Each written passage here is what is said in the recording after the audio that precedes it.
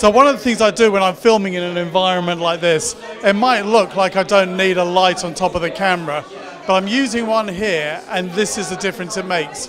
Now Lisa is going to switch off the lights and you're going to see it makes a massive difference. And if she switches it back on, you'll see that using the light just really improves it. Now I can fiddle around with the light and adjust the brightness and that can improve the result immensely. So I do recommend if you're doing filming like this, use a light, it just fills it out, it, all, sorts of, all sorts of lighting problems.